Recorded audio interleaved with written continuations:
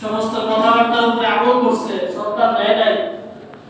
আর শেষ বয়সে আইসা ডাক্তার সাহেবের কাছে জিজ্ঞাসা করো ডাক্তার সাহেব, চা কি খাব? গরু গোস্ত কি খাব? মুরগি কি খাইতে পারব? আর কতটুকু খাব? একবেলা খাব না দুই বেলা খাব। ডাক্তার সাহেব বলে যে রুটি খাবেন। বলে যে ভাত খাওয়ার পরে খাব না, আগে খাব। বুঝে আসছেন বিষয়গুলো? সারা জীবন কামাই করছে। এখন আর কি নাই। খাওয়ার সুযোগ এনজিও, ব্রিটিশ এদের কথার উপরে, শয়তানের কথার উপরে আমল করছে। সন্তান কিনে নেয় একজনের বেশি নেয় নেয় সুখী পরিবার। জন্ম নিয়ন্ত্রণ করছে। কবিরা গুণা করছে। রিজিকের ভয় রিজিক কে দেয়? রিজিক আল্লাহ আগে আমরা যত ফল খাইতাম, সব সিজনাল ফল। এক এক সিজনে এক এক ফল। আর এখন সারা বছরই ফল ফলের কোনো শেষ নাই বরং যে এমনও হয়, ব্যবসায়ীরা ফল বেচতে পারতেছে ফল নষ্ট হয়ে যেতেছে অতিরিক্ত পরিমাণে ফলনের কারণে কি হয়ে যায়? ফল নষ্ট হয়ে যেতেছে মানুষ দিতেছে। এই যে আমাদের একেবারে চৌরাস্তা কি পরিমাণ ফলের দোকান, আর কি পরিমাণ ভিড় থাকে? মাগরিবের পরে মানুষের জন্য হাঁটা যায়। রাত দশটা পর্যন্ত থাকে এত ফল বিক্রি হইতেছে। তারপর দোকানদারদের ফলের টুকরি ভরপুর। প্রতিদিন মাল একদিন, দুই দিন পর পর মাল আনতেছে শেষ হয়েছে না আল্লাহ তারা বরকত দিয়ে দিচ্ছে বড় বড় ব্যবসায়ীরা বিঘায় বিঘায় জমি কিনে বিভিন্ন ফল ফলাদির চাষাবাদ করতেছে। নতুন নতুন ফলের উৎপন্ন হচ্ছে আগে এক মাস পাওয়া যেত, এখন বারো মাস পাওয়া যায় আগে আমরা আম খাইতাম, নির্দিষ্ট কয়েকটা মাস। এখন যাত্রাবাড়ি চৌরাস্তা গেলে, ওই পাড়ে গেলে, দেখা যায় সারা বছরই আম পাওয়া যায়। মজা হোক, না হোক, কম হোক, বেশি হোক, যাই হোক, আছে তো, সারা বছরই পাওয়া যায়। বারো মাসের পর। আঙ্গুর সবসময় পাওয়া যায়। আগে আমরা লালা আঙ্গুর চোখে দেখতাম না তো একটা। এখন সারা বছর লালা তো পাওয়া যায় আঙ্গুর কম পাওয়া যায় রিজিক আল্লাহ তাআলা দেন। আল্লাহ তাআলাই বলছেন যে, আমি তো রিজিক। ইন্নাল্লাহা হুয়া রাজ্জাকু যুল কুওয়াতিল মাতিন আল্লাহ তাআলাই রিজিক দেন। আল্লাহ তাআলাই রিজিক দেন। আল্লাহ তাআলাই রিজিক দেন। এজন্য শয়তান আমাদের সামনে বিভিন্ন সুরত নিয়ে আসে। শয়তান এক একজনকে এক একভাবে ধোকা দেয়। মুসলমানদেরকে সহজভাবে মোরতাদ বানায় দেয়। বিগত সপ্তাহে আলোচনা করছিলাম যে এমন ভাবে মুসলমানরা এরকম ভাবে মোরতাদ হয়ে যেতেছে তারা নিজেরাও বুঝতেছে না যে আমি যে ইসলাম থেকে বের হয়ে গেছি। একবারে সাধারণ সাধারণ বিষয়। তিনটা বিষয় বলা হয়েছিল। এক নাম্বার ছিল যে ইসলামের কোনো বিষয়কে অপছন্দ করা, ইসলামিক শরীয়তের কোনো বিষয়কে কি করা? অপছন্দ করা, অস্বীকার করা। মা একটা উদাহরণ কি মা যখন বিয়ের সময় অনেক বোনেরা বলে গাড়িওয়ালা পছন্দ করে না। অথচ এটা ইসলামী শরীয়তের একটা নিশানা, একটা নিদর্শন। অপছন্দ করলে মোরতাদ হয়ে যাবে, ইমান নষ্ট হয়ে যাবে। না রাখা ভিন্ন জিনিস। আমি আমল করি না, এটার জন্য আমার ভিন্ন গুণ কিন্তু আমি অস্বীকার করলাম, তুচ্ছ তাচ্ছিল্য করলাম, তাহলে মোরতাদ হয়ে আমার ইমান নষ্ট হয়ে দ্বিতীয় নম্বর বলছিলাম যুক্তির আলোকে ইসলামকে বিবেচনা করে। যুক্তির আলোকে ইসলাম যুক্তিযুক্ত আমার বুঝে আসুক বা না বুঝে না বুঝে আসুক। অনেক কিছুই আমার বুঝে আসবে না, কিন্তু এটা যুক্তিযুক্ত আল্লাহ তাআলার কাছে এটা যুক্তিযুক্ত ইসলামকে যুক্তির আলোকে বোঝা যাবে যুক্তি দিয়ে বুঝতে চেষ্টা করো। আর এই যুক্তি দিয়ে বুঝতে গিয়ে শয়তান কি গেছে নিজেই হালাক হয়ে গেছে। আবার ওই পদ্ধতিতেই মানুষকে ধ্বংস করে। মানুষের বুদ্ধির মধ্যে বিবেকের মধ্যে হ্যাঁ, কি করে? যুক্তি ঢুকায় দেয় তুমি এই এই চিন্তা করো সেই চিন্তা করো। নাস্তিক আমাদের সামনে বিভিন্ন কি করে? বিভিন্ন প্রস্তাবনা রাখে বিভিন্ন কথা রাখে। গরু জবাই করতেছে, পশু কি করতেছে? পশু নষ্ট করতেছে। অথচ আসলে এই সমস্ত নাস্তিকদেরকে নাস্তিক না, এরা হচ্ছে ইসলাম বিদ্বেষ নাস্তিক তো সে, যে সমস্ত ধর্ম নিয়ে কথা বলবে শুধু কেন মুসলমানদেরকে নিয়ে কথা বলবে হিন্দুরা আছে না? ওরা কি দেব দেবীর পূজা করতেছে না? ওদেরকে নিয়ে তো কোনো আলোচনা নেই সমস্ত আলোচনা সমস্ত কথা সমস্ত কটাক্ষ সমস্ত খোঁচা ইসলামের। এদেরকে নাস্তিক বলা হয়, এদেরকে বলা হয় ইসলাম নাস্তিক নাস্তিক হচ্ছে সমস্ত ধর্ম নিয়ে সে কথা বলবে। সমস্ত ধর্মবিজ্ঞানকে নিয়ে সে আলোচনা করবে, কথা বলবে, বিরোধিতা করবে। কিন্তু এখানে দেখা যায় সমস্ত নাস্তিকদের কথা ইসলামের বিপক্ষে। শুধু ইসলামের বিপক্ষে, আর কোনো ধর্ম নিয়ে তাদের আলোচনা নেই। মাথা ব্যথা অথচ এক এক ধর্মে এক এক ধর্মের এমন এমন এমন এমন নিয়ম যেগুলা শুনলেও শরীরের দাঁড়ায় স্বামী মারা গেছে, স্বামীর সাথে চিতার মধ্যে কি দিতেছে? স্ত্রীকেও দিয়ে দিতেছে। স্বামী মারা গেছে, আজীবন তাকে এই বিধুর অবস্থায় থাকতে হবে। তার কি করা যাবে না? তাকে আর বিবাহ করা বিবাহ দেওয়া যাবে না। অথচ ইসলাম কত সুন্দর। ইসলামে তাকে বিবাহের জন্য বৈধতা দিয়ে দিচ্ছে স্বামী মারা গেছে তোমরা তাকে কি করো না? তাকে বাধা দিও না। সে যদি বিবাহ করতে চায়, তাকে বিবাহ করতে দাও। এরকম বিভিন্ন ভাবে শয়তান আমাদের সামনে সুরত দিয়ে আসবে যুক্তির আলোকে ইসলামকে কি করা যাবে না? বিবেচনা করা যাবে তিন নম্বর বলা হয়েছিল মুরতাদ হয়ে যাওয়া সহজ। একবারে সহজ ভাবে মানুষ মুরতাদ হয়ে যায়। বুঝেও না। তৃতীয় নম্বর সেটা বলা হয়েছিল, সেটা হচ্ছে কি? আধুনিক যুগেও ইসলাম, শরীয়ত। ইসলামী শরীয়তকে অস্বীকার করা। ইসলামী শরীয়তের বিরোধিতা করা। এটার মাধ্যমে আপনার নষ্ট হয় আপনি বুঝেন? আপনি যদি এই কথা চিন্তা করেন, এই আধুনিক যুগে শরীয়ত, আপনার ইমান নষ্ট হয়। যুগ যত আধুনিক হবে, যুগ যত আধুনিক হচ্ছে, নিয়ম, কানুন, প্রশাসন, আইন সবকিছু আরও আগের থেকে আপডেট হচ্ছে। কিন্তু ফলাফল কি চুরি ডাকাতি কি কমে গেছে? খুনি রাহাজারি কি কমে গেছে? যত দিন যাচ্ছে, যত নিয়ম বাড়তেছে, তত চোরদেরও নিয়ম আরও কি নতুন নতুন বাড়তেছে। চোররা নতুন পদ্ধতিতে চুরি করতেছে। ইসলামী শরীয়ত কিয়ামত পর্যন্ত এটা জরুরত এটা ছাড়া দুনিয়াবি যত নিয়ম, যত আসবাব, যত চিজ আছে, আমরা যতই বানাই না কোনোদিনও কি আসবে না? ফলাফল জিরো ফলাফল আসবে। শয়তান আবার ধোকা দেয় কীভাবে? নারী বিষয় নিয়ে। নারী অধিকার। অথচ ইসলাম নারীকে তার ইনসাফ অনুযায়ী তাকে অধিকার দিচ্ছে। শয়তান মানুষকে কীভাবে ধোকা দেয়? নারী অধিকার নিয়ে আন্দোলন করো। অথচ নারীকে আল্লাহ ইসলামী শরীয়তের মাধ্যমে এক চাটিয়া অধিকার দিয়ে দিচ্ছেন যেটা পুরুষকে দেন নাই। এটা এর আগেও আমরা আলোচনা করেছিলাম, এক চাটিয়া আল্লাহ নারীদেরকে অধিকার দিচ্ছেন নারীদেরকে সর্বপ্রথম তার বাবার লালন পালন করবে, সে তার বাবার অধীনে থাকে। বাবা না থাকলে বাবার পরে তার দায়িত্ব তার কে নিচ্ছে, তার ভাই নিচ্ছে। স্বামী নিতেছে, তার সন্তান নিতেছে।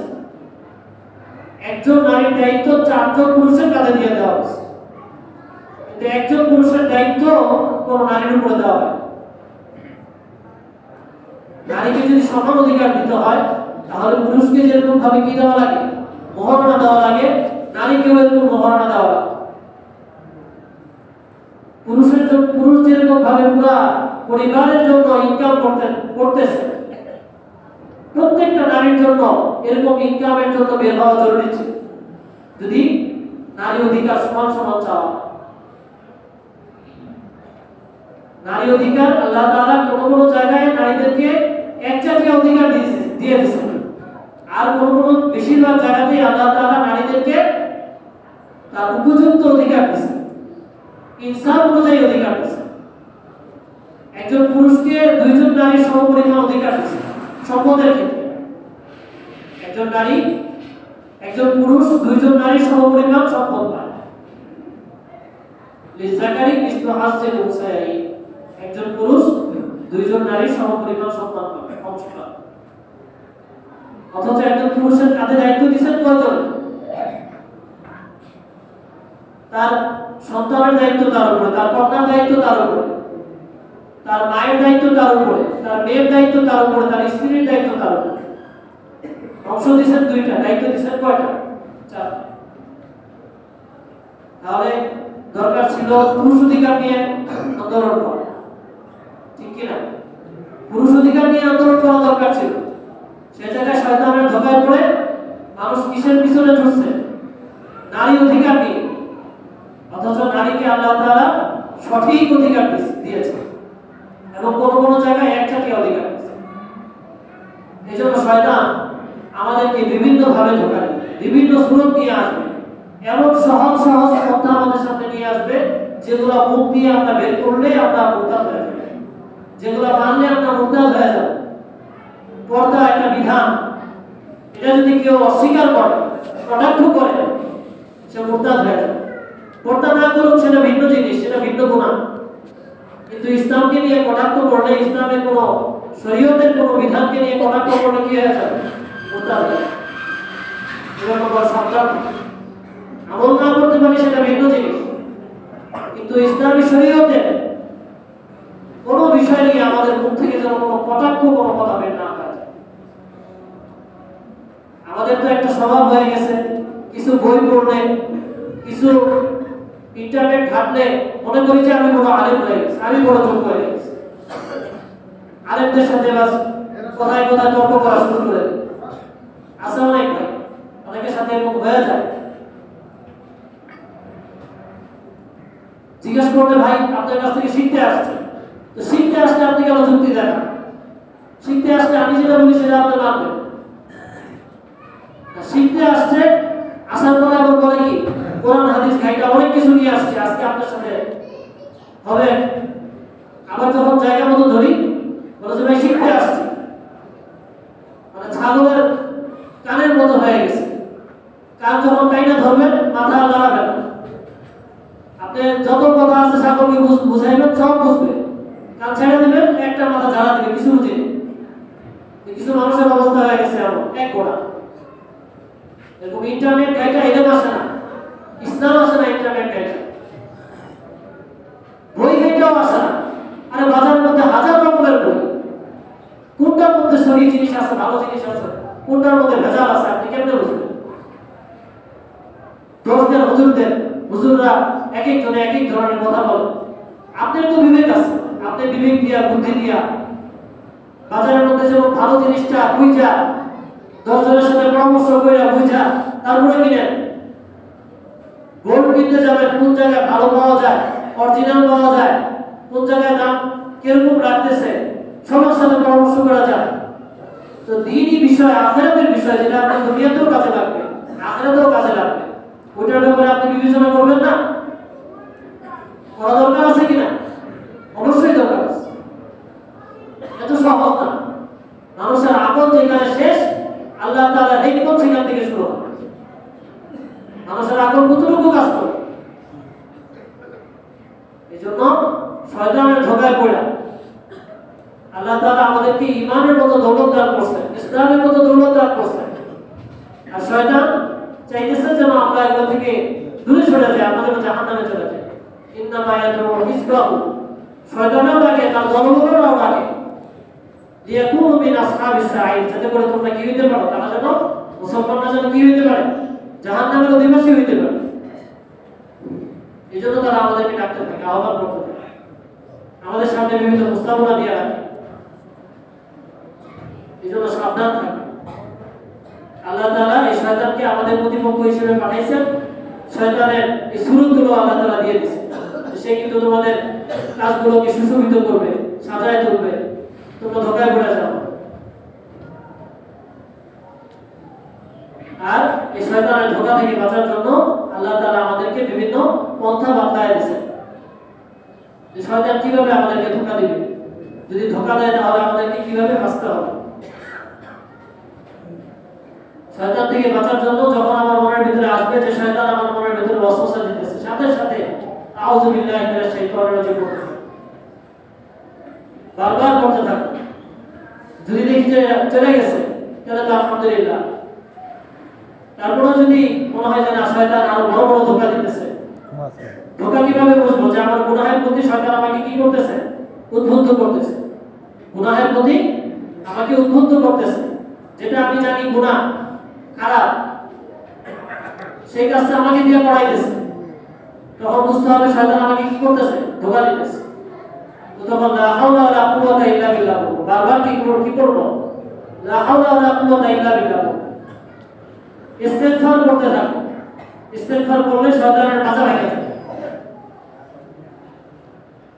এগুলো যখন পড়ার পর পড়তে থাকব, তখন শয়তান আমার থেকে কি হয়ে যাবে? দূরে সরে যাবে। এরপরেও যদি আমার মনের ভিতরে শয়তানি চলতে থাকে, তাহলে বুঝতে হবে শয়তান পালাইছে, কিন্তু আমার নফসকে মুড়িদ বানায় রেখে গেছে। নফসকে কি বানায় রেখে গেছে? মুড়িদ বানায় রেখে গেছে। এখন শয়তান যেভাবে চালাইতো নফস এমনি চলতেছে শয়তান নাই। তো তখন আমার কি কি করতে হবে? আল্লাহ হবে। আমার পুরা আল্লাহ মানুষের তো আবার মাথা রক্ত উঠে যায়, অনেকে চুলকানি শুরু হয়ে যায়। বলতে আমরা খারাপ জিনিস বুঝি। খারাপ বলতে না। খারাপ জিনিসের প্রচার প্রসারের কারণে খারাপ মনে করা হয়। কিন্তু আল্লাহ তাআলা কোরআনে মধ্যে বলেছেন, ইয়া আইয়ুহাল্লাযীনা আমানু তাকুল্লাহ এই বান্দারা তাকওয়া অবলম্বন করো, ভালো লোকদের সাথে থাকো।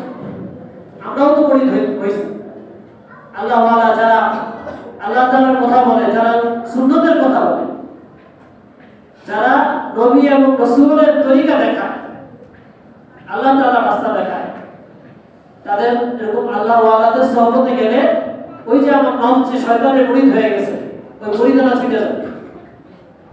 আল্লাহ ওয়ালাদের সহবতে গেলে যারা দিনের উপরে অটল, অবিচল, আল্লাহ তাআলার হুকুমের উপরে অটল, অবিচল।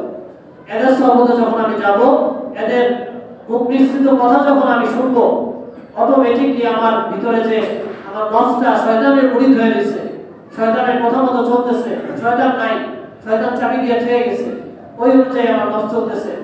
আমি যখন আল্লাহ ওয়ালাদের সংস্পর্শে যাব, আমি যখন দিনই সহবতে যাব, তো তখন আমার ওই শয়তানি মুরিদানা আমার দিন থেকে চলে যাবে। তখন আমার দিনের উপরে চলা আবার সহজ হবে। এই জন্য এক নম্বর শয়তান আমাদেরকে ধোকা দিবে। আর শয়তান হচ্ছে আমাদের প্রতিপক্ষ। শয়তানের কারণেও আল্লাহ তাআলা আমাদেরকে আখিরাতে বাঁচায় দিতে পারবে। শয়তানের উপর দোষ চাপায় দিবে। আবার শয়তান আমাদের প্রতিপক্ষ। যদি শয়তানকে পরাজয় করে আমরা জয়ী হতে পারি, তাহলে এটা হবে চূড়ান্ত বিজয়। শয়তানকে পরাজয় করব কীভাবে? বিভিন্ন দোয়া কালাম, ইস্তেগফারের মাধ্যমে শয়তানকে কি করে দেব? পরাজিত করে দেব। শয়তানের ধোকাগুলোকে শেষ করে দেব। আর এরকম যারা দিনের পথে আছে আল্লাহ ওয়ালা, আমরা চিনি, এমন না যে আমরা চিনি। নাম শুনলে বুঝি হ্যাঁ আমি তো অনেক আল্লাহ নিজেরাই বলি, আবার নিজেরাও এটাও বলি কারা যে আল্লাহ ওয়ালা, কারা যে ভালো, এটাই চিনি। চিনি ঠিকই, কিন্তু দিল লাগায় এটার এটার মধ্যে মনোনিবেশ করি। এটা হচ্ছে আমাদের সমস্যা। তো যখন এরকম সমস্যা আসবে, আল্লাহ ওয়ালাদের সহবতে যাব, ওনাদের সংস্পর্শে যাব, ওনাদের কোরআনী আলোচনাগুলো শুনব, কোরআন হাদিসের আলোচনা শুনব, আল্লাহ তাআলা শয়তানের ওই শয়তানিটাও শেষ করে দেবে আল্লাহ তাআলা আমাদের সবাইকে বোঝার আমল করবে আলহামদুলিল্লাহ